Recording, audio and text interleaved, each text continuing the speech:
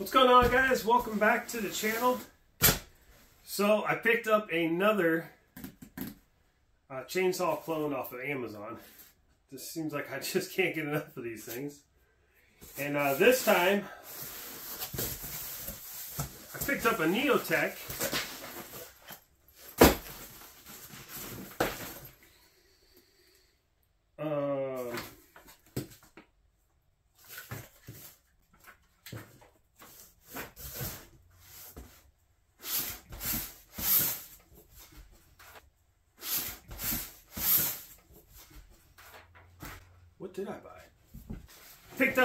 H872 by Neotec. And this is a uh, clone of the Husqvarna, Husqvarna, Husqvarna, Husqvarna 372 XP chainsaw. So pretty neat. This will be uh, the second Husqvarna clone I have in my collection. Um, I don't own, I don't currently own any real Husqvarna chainsaws, so So I thought what we would do is unbox this thing. I'll show you what comes in the box. I'll show you how it comes, you know, the condition, and then uh, we'll do some assembly and fuel it up and fire it for the first time. This is more for the beginners, guys that don't uh, probably aren't in the saw world or, or this is their first chainsaw homeowners, guys like that, pros, this is, you're not going to get much from this video unless you're just looking for sweet toy to play with and, you know, a nice little backup saw. So, first off, I just want to say that the packaging on this thing was incredible. This box was inside of another box in super sturdy packaging. Also, it is important to note, I bought a combo, the saw with the bar and chain, and they did come in two separate packages with two separate chip uh, tracking numbers. So if you're if you buy the combo and one package shows up before the other, don't panic. Give it a day or two and the other package should show up. Mine both showed up at the same time, but I have seen guys complain that they ordered a bar with their chainsaw and the bar didn't show up with the chainsaw. Typically, it shows up in the next day. So I opened up the box, and right on top, it had this uh, letter to the customer, uh, and it's basically thanking us for buying the chainsaw. And then it kind of goes into how the two-stroke engine is complicated and sometimes may fail to start, and that they have found 90% of the starting issues are caused by environmental factors, which it makes sense. Um, these all these saws need tune to your area uh, elevation and climate make a big difference on how a two-stroke engine will run. So if you get this saw and it doesn't start right out of the box, um, they do give you a phone number here uh, for someone in the United States to help walk you through getting this saw started. It should start, most of them do, but if you run into one that doesn't, they're here to help. And that's kind of nice to see that they're they're putting that out there. Every one of these clone chainsaws I've ever gotten, I've had to tune the carburetor. And uh, other than that, I've never had an issue. Little side note about tuning the carburetor on a two-stroke engine. It's not super difficult. You could watch enough videos on YouTube to learn how to do it. The average person.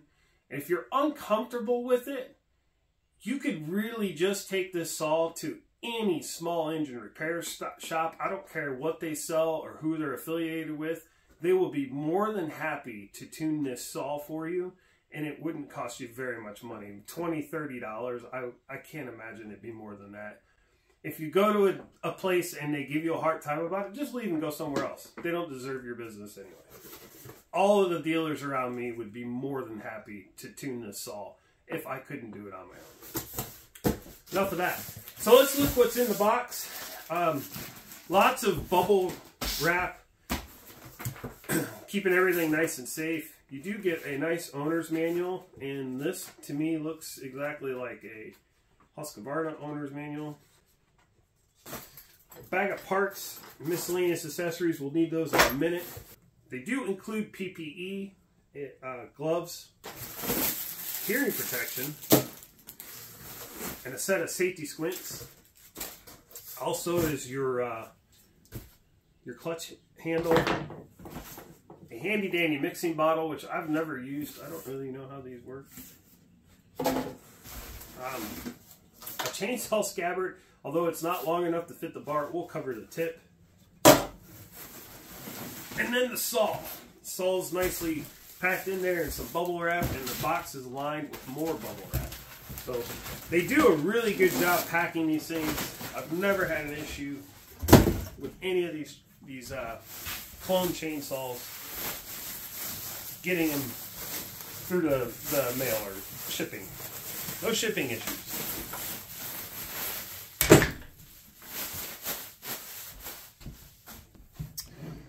All right, guys, let's come in for a closer look here.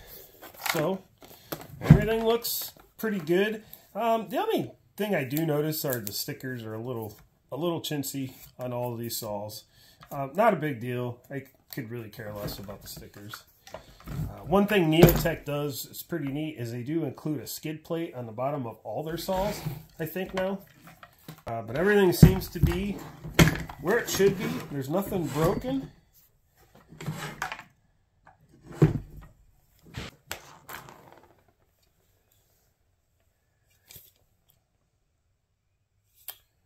I was just looking at this. This this one does have a side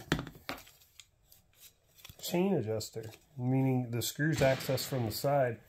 Um, I'm not familiar with Husqvarna enough to tell you, but the ones that I'm used to, the chain adjuster is in the front there.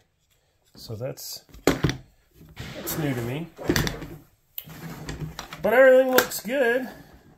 Pull this cover off, take a look at the air cleaner assembly. Yep, Nice Husqvarna air cleaner assembly. We do have a hmm, torch spark plug, so no NGK spark plug.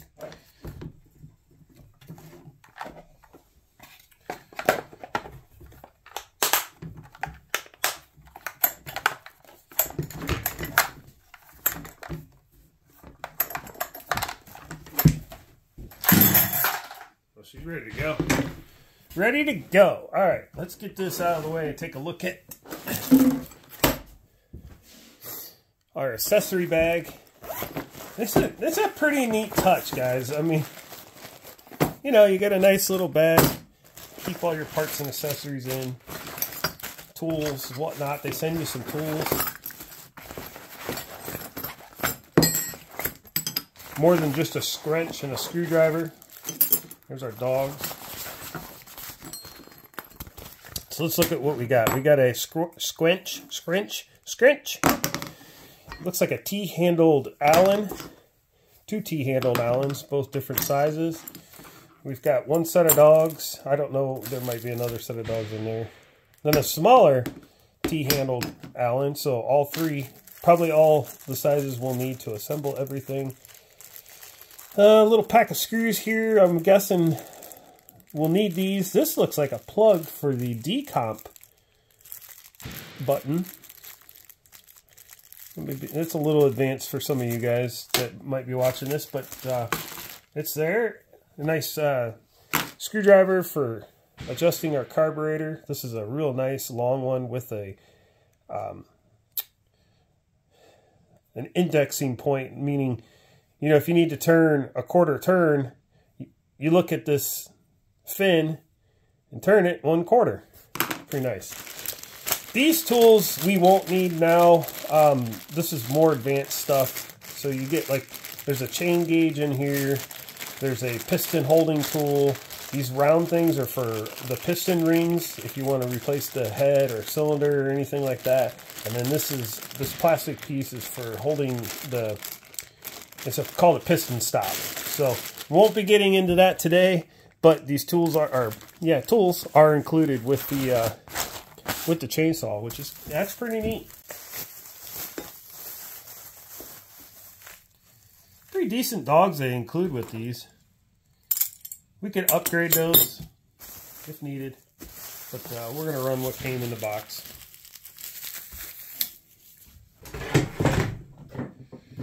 So let's figure out this pieces here.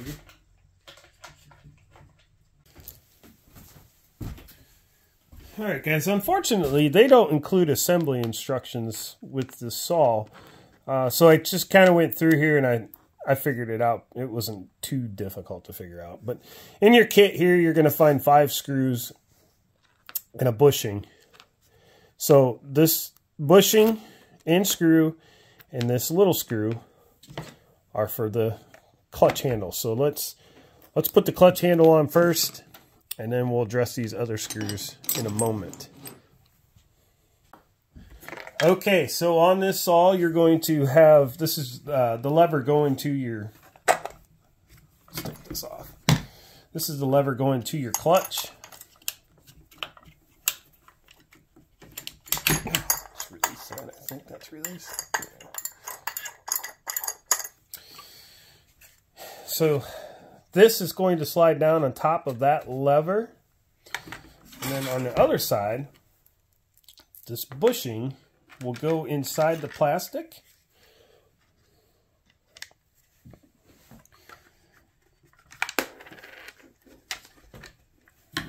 Oh, come on. Butterfingers today.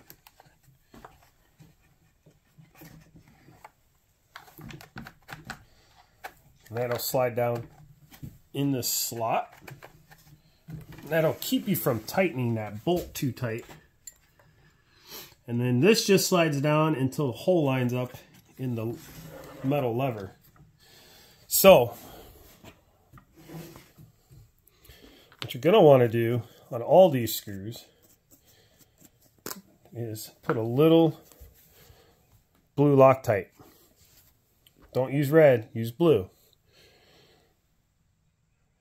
Any chainsaw bolt you take off, put on, you're going to want to put a little dab of little dab well come on a little dab. Oh. Little dab of blue Loctite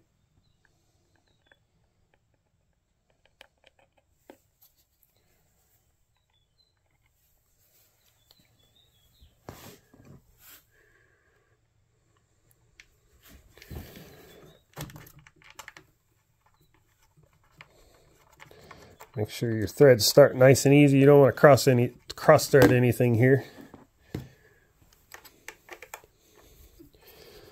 And they included the wrench for all of these screws. That's so nice. I don't have to go look for anything. I'm sure there's a torque spec on this, but I'm going to go with that's good enough. We'll come over to this side. Find our hole. Oh, come on, really? Oh.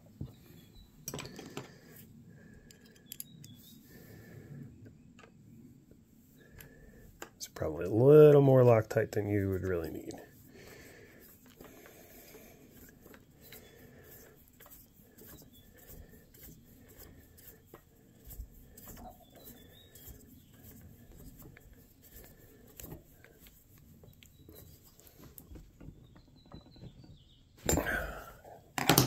All right, check the operation.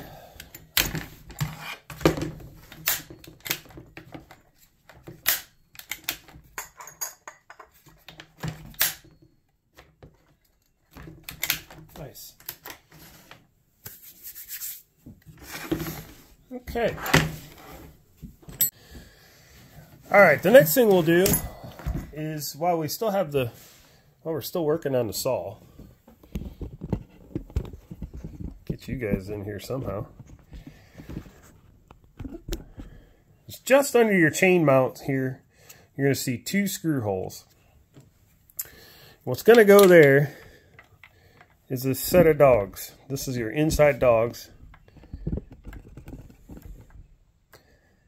They're going to go right there. And on it is a uh, chain catch. So before we put that on there, go ahead and put some blue Loctite on our chain catch so that this doesn't fall out. I'm just going to take the nut off. Put a little Loctite on there.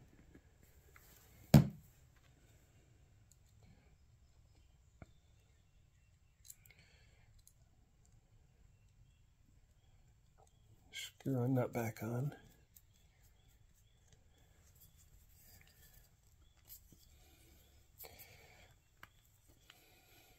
Really should get a wrench on there.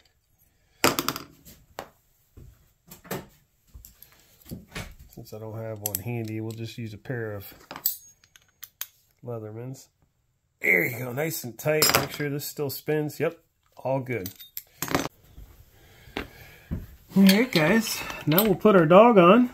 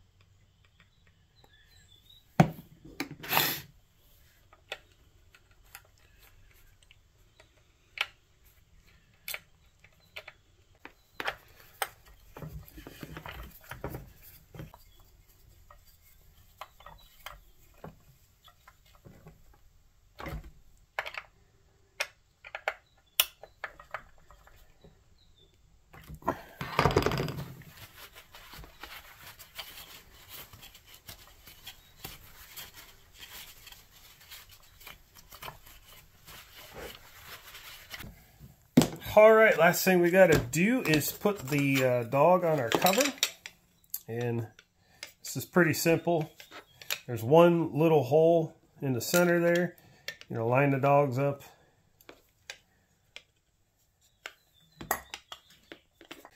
Little blue Loctite.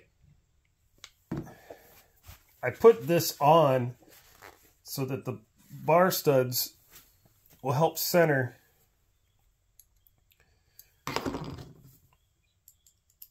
my outside dog.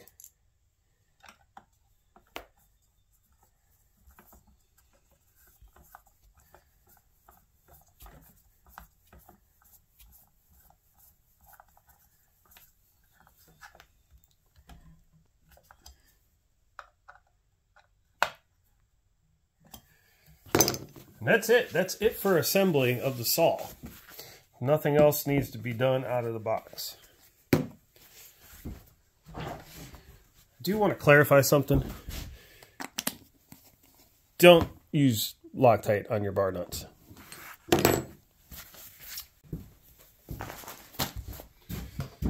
All right, we're going to get some of this stuff out of the way that we no longer need for now.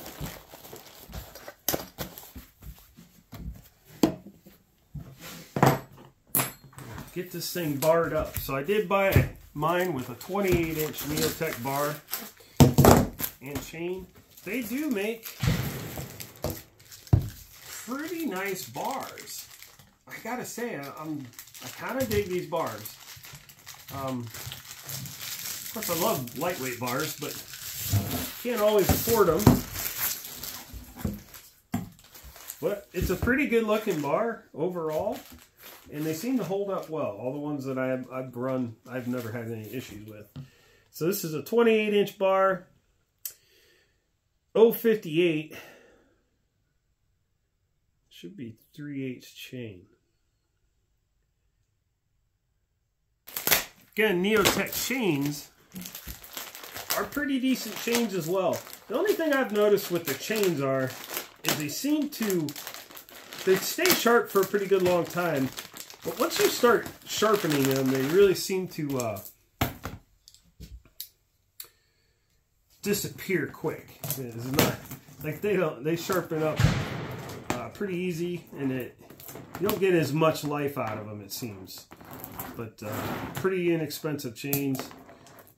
Not not a terrible chain to run. Of course, I've never really had any chain that was terrible. All right, so go ahead and get your your chain un untangled but it's easiest to untangle these chains on a flat surface. That's what I have found. Uh, let's get this thing barred up. We are pretty close to getting this thing ready to fire. So, just gonna bar this up and uh, put some fuel in it. So,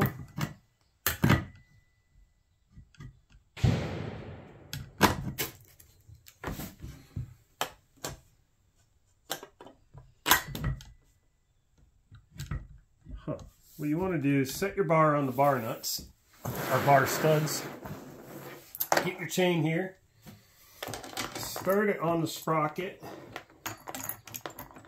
It'll fit down in the holes. It's kind of self-explanatory.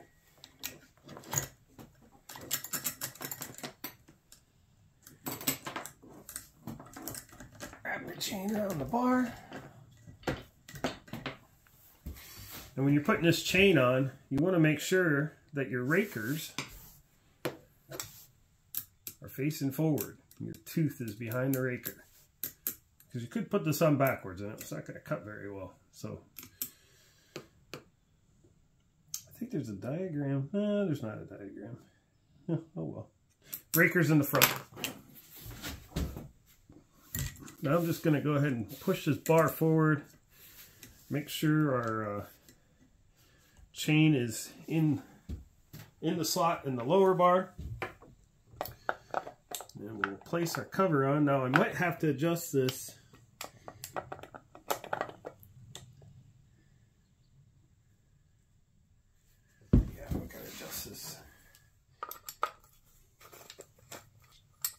Chain tensioner. So we're gonna bring this chain tensioner all the way back.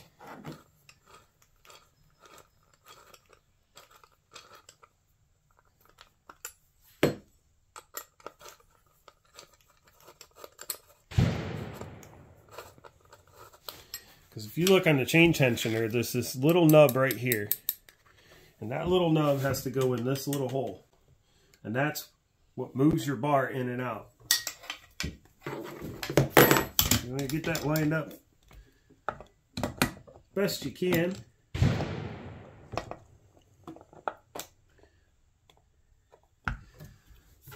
Not quite there. So I'm going to set this on.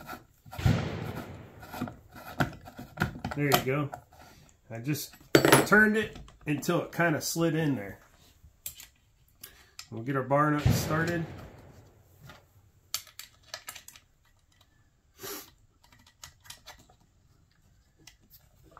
Make sure our clutch is off. Test, test your chain. If it spins freely, that means your clutch is off. Get your bar nuts started. Now, we can see that our chain is very loose. So we're going to tighten this tensioner up. That's going to stretch our chain. Alright guys, slight technical difficulties. If you notice, we do have a different bar on our chainsaw now. Um, somehow, the bar that I got is a Stihl mount and is not working. Now, I could modify it to work, um, but I'm not, I'm not going to. I have an Oregon bar that'll work, and we'll get this thing, we'll get it put together and get it running and finish off this video. And I'll contact uh, Neotec about the bar in uh, I'm sure they'll just send me a a proper one. But for now, this I'd like to get this thing rolling. So we'll just use this. This chain I'm putting on here, I don't really know. Uh, it's probably doll. So we're probably not going to do any test cuts today anyway. Just put this together and uh, now that might be the wrong bar too. I don't know. Whatever.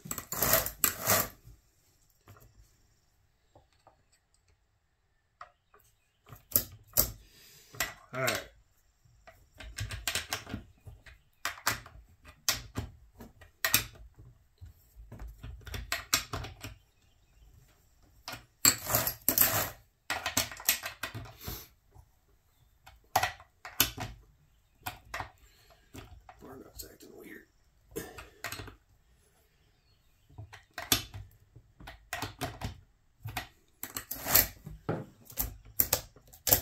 All right, so once you have your bar and chain on, you want to go ahead and run it down the bar a few times to make sure it's moving smoothly and uh, uh, it's not too tight. And your, your bar and chain are going to loosen up a little bit after you run it, so you'll have to retighten it.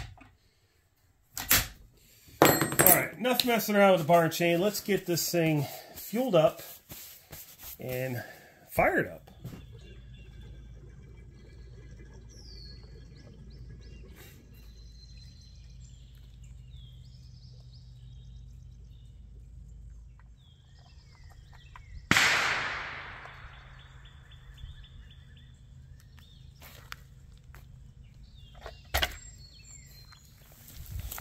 Husqvarnas usually start pretty easy. They're pretty simple. So put your kill switch in the on position.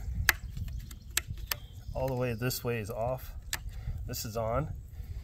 Make sure your chain brake is engaged.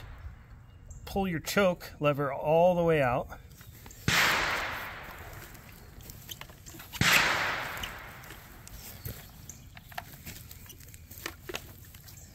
Give it a couple pulls.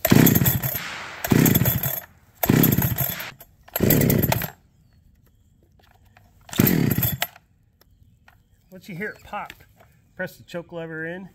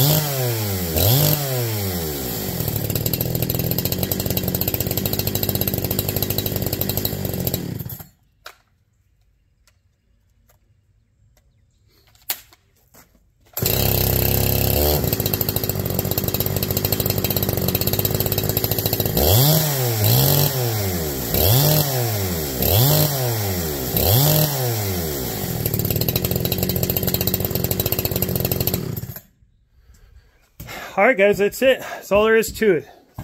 Pretty simple task getting that thing set up and ready to run. Uh, I could tell right away the carburetor does need uh, leaned out quite a bit. It's it's pretty fat. So we'll do that. I'll do that in a later video maybe. I don't know if it's something I want to share with you guys and I don't want somebody to mess up their saw because of my techniques. So um, you're better off watching some videos on YouTube of uh, some of the small engine guys. Uh, I think that one guy's name Small Engine Steve or something. He has a great video on how to tune a carburetor. Buckin' Billy Ray has several videos on how to tune a carburetor. And then uh, West, West Coast Saws just did a real good one on how to tune a carburetor by ear. So go check out all those those guys if you need to adjust the the carburetor on your chainsaw. But I just wanted to get this thing out of the box, assembled, fueled up, and fired up. And uh, we'll uh, we'll put this thing to work here soon and report back with with how how it works. You know, I, I don't know. I don't have high expectations for most of these saws. Uh, um, they've all exceeded my expectations. I think when you pay one third the price, not even one third, it's it's it's way it's less than that, like an eighth of the price of a of a brand new 372. Um, let, us just say it's one third the price. When you pay one third the price, you should expect uh, one third the quality. And these things actually, I think, are pretty good quality. And they all seem to be holding up. I have several of these, like you guys have probably seen on my videos, and I still run them all. Uh, I don't have any issues with any of them. So, till next time, see you guys in the next video.